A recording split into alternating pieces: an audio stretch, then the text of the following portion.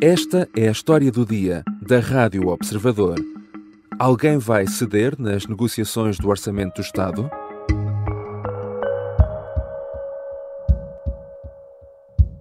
Ficamos a aguardar um convite para uma nova reunião e nessa reunião discutiremos o que entendermos discutir. Não é, se me permitem, o Governo que define o calendário do Partido Socialista. Estamos disponíveis para uma reunião e aguardamos a marcação dessa reunião. É um pouco como num jogo de futebol, em que nos momentos iniciais as equipas estão ainda a estudar se nenhuma tem propriamente a iniciativa de ataque. Depois de uma primeira reunião em que recebeu dados do governo sobre o cenário macroeconómico, o PS promete que vai apresentar as suas propostas para o orçamento do Estado. Mas a data do próximo jogo, essa é o governo que marca, dizem os socialistas. O que torna as coisas mais complicadas é que neste jogo não há apenas duas equipas em campo e o Chega já garantiu, com o PS dentro das negociações, o Chega está fora de jogo, o que quer dizer votar contra o orçamento. André Ventura até recuperou uma palavra que já tem tradição na política portuguesa. Diz que a decisão é irrevogável. Com tudo isto somado, o que podemos esperar das negociações do Orçamento do Estado? E mesmo que publicamente garantam que não o querem, até que ponto os partidos se preparam para a possibilidade de eleições antecipadas? Vamos conversar com Miguel Santos Carrapatoso, editor adjunto de política do Observador. Eu sou o João Santos Duarte e esta é a história do dia de quinta-feira, 12 de setembro.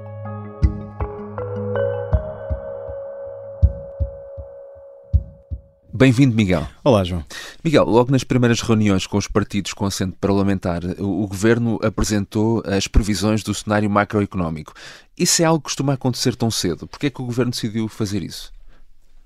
Não, não é algo que costuma acontecer tão cedo e o governo decidiu fazer isto porque percebeu que uh, todos os partidos, em particular o Partido Socialista, uh, vinham usando um, a falta de informação sobre sobre o cenário orçamental uh, como pretexto para criar um, dificuldades à negociação. E, portanto, o governo, sabendo isso e tendo interesse em controlar a narrativa, hum. decidiu uh, então apresentar os dados. Não apresentou todos os dados, mas no que ao cenário macroeconómico diz respeito, de facto, apresentou mais cedo para, como dizia, um, terminar de uma vez por todas, ou tentar uhum. terminar de uma vez por todas com uh, a discussão ao, à volta da informação, se existe, se não existe, se é suficiente, se é insuficiente, e aparentemente cons conseguiu, até porque o Partido Socialista, o partido que mais vinha exigindo essa, essa informação em falta, acabou por deixar cair o argumento. Uhum. Uh, nós vamos entrar aqui num jogo de quem cede, quem concede, quem, quem negocia. Uh, as duas questões que uh, separam mais o governo e o PS têm sido o IRS jovem e a descida no IRC. ao que sabemos, o governo está disponível para calibrar estas propostas e ir mais ao encontro daquilo que serão as pretensões socialistas, não? Sim, o governo tem dito uh, sistematicamente, em público e em privado, que está disponível para modelar hum. ou calibrar estas duas propostas, no caso, no caso o IRS jovem e eh, no outro caso a redução do IRC. O que é que separa os dois partidos? Em rigor, ninguém consegue dizer exatamente. Hum. Até porque o Partido Socialista tem uh, escondido muito o jogo. O que nós fomos uh, sabendo e escrevendo no Observador é que Pedro Nuno Santos não aceita que as bases para a discussão sejam as propostas uh, desenhadas hum. pelo governo IRS Jovem, nem uh, para a redução do IRC. Portanto, não aceita esta disponibilidade do governo para modelar as propostas. Hum. O que o Partido Socialista quer é pegar em propostas ou em medidas que foram aprovadas durante o governo de António Costa nestas duas vertentes e trabalhar a partir daí. Ora, são visões muito diferentes. O ponto de partida é logo O ponto de partida é muito é. diferente, apesar de estarmos sempre a discutir redução de impostos. Uhum. Uh, a receita que António Costa usou para reduzir os impostos para os mais jovens e para as empresas é muito diferente daquela que Luís Montenegro quer usar. E, portanto, admitindo que Pedro Nuno Santos uh, será irredutível neste aspecto, é muito difícil imaginar como é que o governo consegue ceder em duas matérias que são tão importantes para Luís uhum. Montenegro. Uhum. Uh, os líderes não, não, estiveram, obviamente, presentes nesta primeira reunião. Uh, houve algum contacto direto entre Luís Montenegro e Pedro Nuno Santos para tentar ultrapassar este impasse? Estamos no momento de em que uh, as partes querem reservar ao máximo a informação disponível. O que o observador conseguiu uhum. apurar é que alguns durante as reuniões com os partidos, com assento parlamentar, a delegação do governo queixou-se de que uh, Luís Montenegro terá feito um contacto com Pedro Nuno Santos e que a resposta não foi uh, satisfatória. Esse contacto a existência desse contacto foi confirmada pelo observador também do lado uhum. do Partido Socialista, uh, sem mais detalhes. Portanto, aqui o que podemos extrair, ou podemos extrair daqui, melhor dizendo, é que os dois, Luís Montenegro e Pedro Nuno Santos, contactam ou contactaram ou estabeleceram um contacto pelo menos uma vez uh, sobre o Orçamento do Estado e que esse contacto não conseguiu ou não foi suficiente para desbloquear as negociações. É tudo o que sabemos, mas não deixa de ser relevante que existam já contactos ao mais alto nível entre Luís uhum. Montenegro uhum. e Pedro Nuno Santos. Agora, depois desta primeira reunião, entramos aqui um bocadinho num jogo do passa a bola ao outro, não é? O governo diz, diz que está à espera do PS, o PS diz, por sua vez, que espera que seja o governo a marcar a data de uma, de uma próxima reunião e só aí é que vai então apresentar as propostas. O, o que é que o PS estará aqui a tentar fazer? Qual, qual será a estratégia socialista? Já percebemos que passa um bocadinho por esconder o jogo, não é? Sim, em linha com o que eu, que eu dizia há instantes, eh, o Partido Socialista partiu para estas negociações com a tal ideia de que uh, não será possível superar estas duas matérias, o IRS jovem uhum. e o IRC, se o governo uh, mantiver uh, a linha ideológica que tem para estas duas medidas. Posto isto, não sabemos exatamente que medidas ou que contrapropostas o Partido Socialista vai apresentar e quando. foi estabelecido um prazo, alguns dias, falou-se até em 48 horas, enfim. Uhum. Uh, e o Partido Socialista tem aqui uh, a iniciativa de apresentar as tais contrapropostas.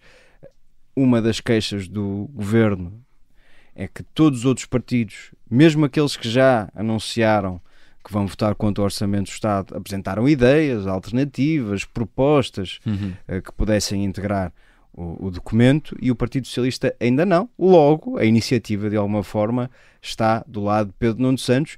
Depois, se, se a reunião é convocada pelo governo ou se é pedida pelo Partido Socialista, já parece que estamos a discutir o acessório. Aqui o importante de saber uhum.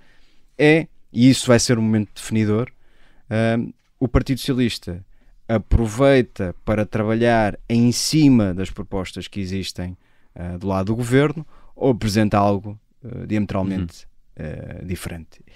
Quando percebemos isso, e não, estará, e não faltará muito tempo para o percebermos, aí uh, conseguiremos antecipar com mais rigor o desfecho destas negociações orçamentais. Já regressamos à conversa com Miguel Santos Carrapatoso, editor adjunto de política do Observador. Na segunda parte, vamos falar também da posição irrevogável do Chega e de um cenário de eleições antecipadas.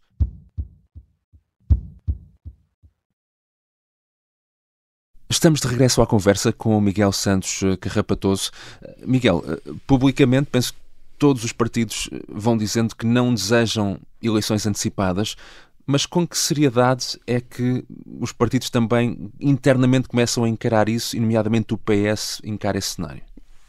Aqui devemos falar dos uh, três principais intervenientes, Luís Montenegro, uhum. Pedro Nuno Santos uh, e André Ventura. Para não fugir à, à, tua pergunta, comecemos por Pedro Nuno uhum. Santos. Uhum. Aqui há teses para todos os gostos.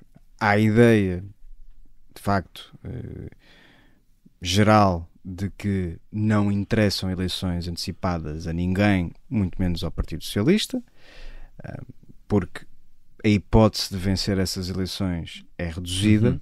Portanto, isso é um fator uh, que pesa em qualquer decisão que venha a tomar Pedro Nuno Santos, a história diz-nos que partidos que são percepcionados como uh, causadores ou corresponsáveis por uma crise política são penalizados nas urnas. Foi sempre isso que aconteceu quando o problema se, uhum. se colocou, tanto em 1987 com o PRD, partido patrocinado por Ramalhianes, quer mais recentemente com os partidos da extinta Geringonça, Bloco de Esquerda e PCP, ou seja, os partidos que, com razão ou sem razão, são percepcionados como causadores ou corresponsáveis pela crise política, são penalizados nas uhum. urnas. Uhum. Por maioria de razão, seria de.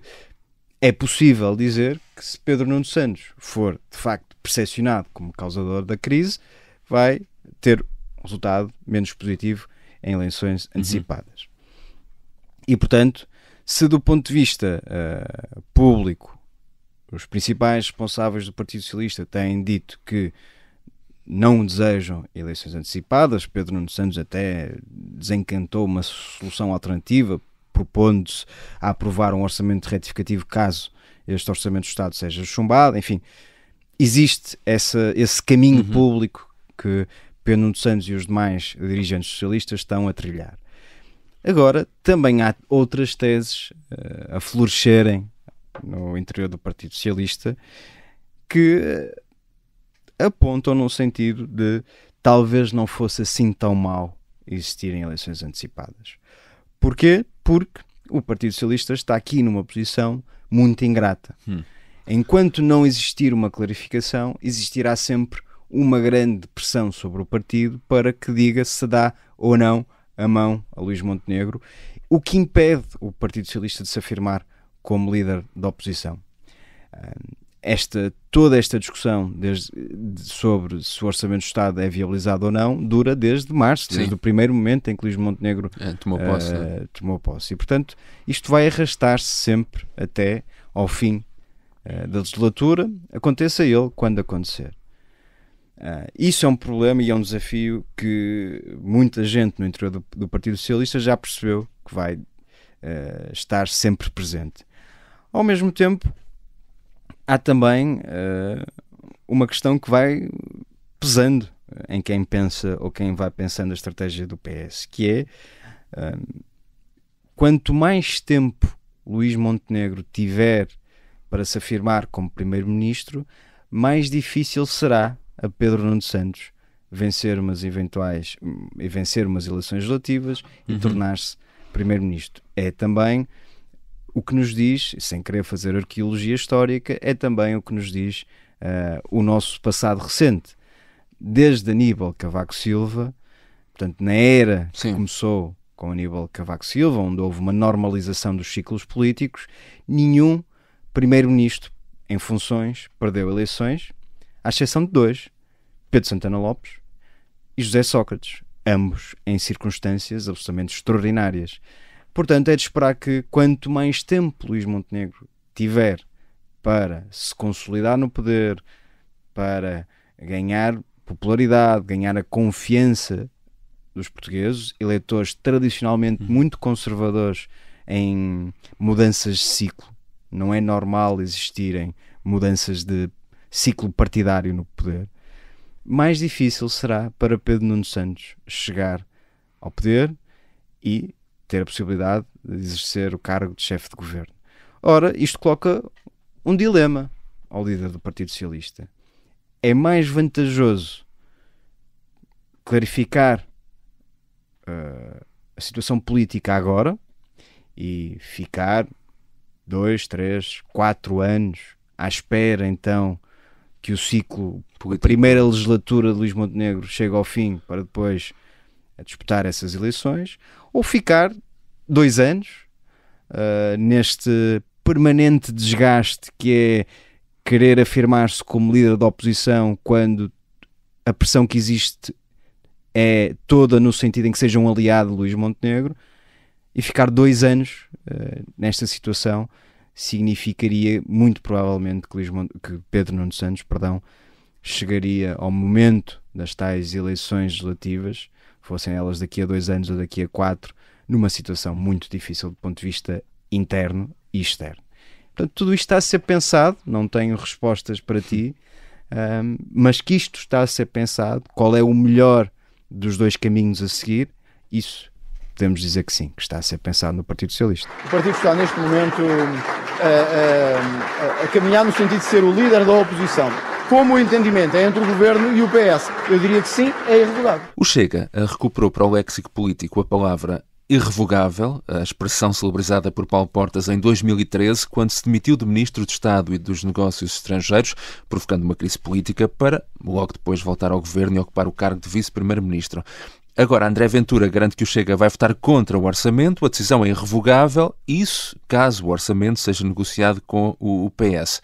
Isto é o Chega a seguir a mesma estratégia de sempre, tentar encostar PS ao PSD e reclamar o papel de grande líder da oposição? Claro que é. Aqui, aqui alerto só para as, as várias nuances que hum. existem no discurso de André Ventura que uh, consegue, não raras vezes, este dom da Sim. Ambiguidade. Este irrevogável também tem nuances. André Ventura começou por utilizar a expressão irrevogável, sabemos todos a carga Sim. que a palavra tem na, na nossa dinâmica política, e nos últimos dias já tem introduzido aqui uma questão que é um bocadinho diferente, que é enquanto o Orçamento do Estado for negociado uhum. entre PSD e PS, chega a estar fora. Ou enquanto ou se for negociado. O que pode permitir colocar a pergunta: então, e se deixar de ser, ou se não for negociado entre o PSD e o PS, a decisão dos, de André Ventura já não é irrevogável? É uma pergunta Sim. válida. E André Ventura vai navegando nesta ambiguidade. Agora, acho preferível prendermos às palavras de André Ventura no início desta semana, em que disse sim que a decisão era irrevogável e fez até os cálculos uh, umas eventuais eleições antecipadas. Vamos então partir do princípio que André Ventura está de facto uh, decidido e vai votar contra o Orçamento do Estado e que deseja umas eleições Sim. antecipadas. Explicar o racional dessa, dessa decisão e dessa estratégia, que tem também os seus riscos.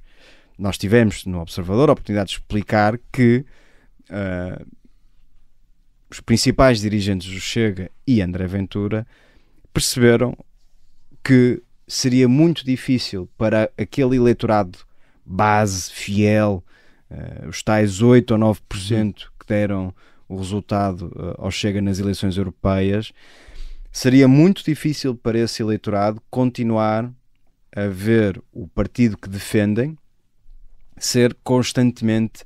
Um, vou usar uma expressão que foi, que foi André Ventura que usou. Uh, humilhado por Luís Montenegro. O Chega predisposto desde o início para fazer parte de uma maioria de direita, Luís Montenegro manteve-se fiel ou não, ou não é não.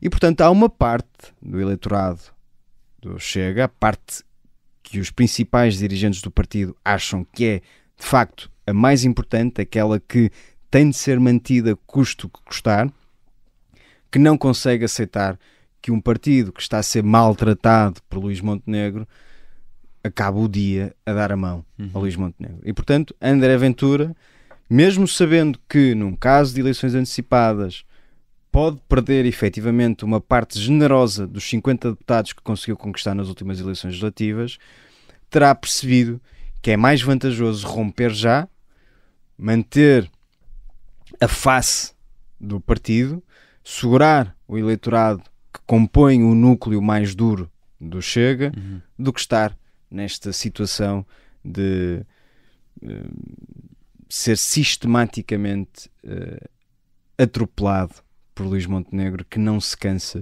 de dar sempre um chega para lá André Ventura. Uhum. Miguel, falta-nos falar aqui também da figura central do Primeiro-Ministro. Eh, e o Luís Montenegro, o que é que irá neste momento na cabeça do, do Primeiro-Ministro? acreditando em tudo que Luís Montenegro diz e os vários representantes do governo vão dizendo, não há interesse em eleições antecipadas. Portanto, isto é o discurso público. Agora, no interior uh, do governo, há quem entenda que, de facto, umas eleições antecipadas não seriam exatamente benéficas uhum. do ponto de vista da condução das políticas uh, do país ou para o país, iria trazer dificuldades, naturalmente, ninguém, ninguém esconde isso, mas ao mesmo tempo, Luís Montenegro, por tudo o que fomos dizendo até agora, uhum. pelo peso da história, pelo peso das experiências passadas, sabe que, ou sente que, se fosse a votos agora, muito possivelmente conseguiria um resultado mais positivo do que aquele que teve uh, nas uhum. últimas eleições. Portanto, sairia, em teoria, reforçado destas eleições legislativas, aqui com um aspecto importante, que poderia ficar muito perto, ou mesmo atingir a maioria, com a IEL. Uhum. O que permitiria uma estabilidade uh, governativa quase uma estabilidade governativa que não tem de todo neste momento, para uhum. pôr as coisas nestes termos. Luís Montenegro já deu todos os sinais de que, mesmo que o Orçamento do Estado uh, seja chumbado, não vai demitir-se, disse-o publicamente. Uh, ninguém sabe exatamente o que faria Marcelo Rebelo de Souza, que é outro player nesta Sim. equação, se dissolvido o orçamento, chumbado o orçamento dissolveria ou não a Assembleia da República. Há um precedente uh, em que decidiu dissolver, quando António Sim. Costa viu o seu orçamento chumbado. Portanto, teria de encontrar aqui um, uma desculpa muito criativa para não fazer o mesmo agora. Mas imaginando que uh, o orçamento do Estado é chumbado, para não andarmos muitos passos à frente, e que Luís Montenegro é coerente com aquilo que disse publicamente e não se demite, teríamos um governo, uh, teríamos Luís Montenegro durante pelo menos alguns meses a usar esta crise política provocada eventualmente por Partido Socialista e Chega para se vitimizar, para dizer que foi uhum. que, o, que, que, os, que a oposição não deixou o governo governar, tudo isso, em teoria, lhe, lhe daria muitos argumentos para, para numa corrida eleitoral uh, ensaiar essa narrativa de vitimização e crescer a partir dela. Portanto, para ser absolutamente rigoroso, não acho que seja justo dizer que Luís Montenegro os membros da equipa uhum. de Luís Montenegro desejam e estão a trabalhar afincadamente para um cenário de eleições antecipadas, mas que estão a pensar ou admitem essa hipótese estão a, a cautelar tudo para que, se isso acontecer, o partido ou a Aliança Democrática está preparada para ir a votos e crescer em relação às últimas eleições. Portanto, não era um cenário uhum. de todo, de todo catastrófico para Luís Montenegro. Uhum. Obrigado, Miguel. Obrigado, João. Miguel Santos Carrapatoso é editor adjunto de política do Observador. Esta foi a história do dia. A sonoplastia é de Mariana Souza Aguiar, a música do genérico do João Ribeiro. Eu sou o João Santos Duarte. Até amanhã.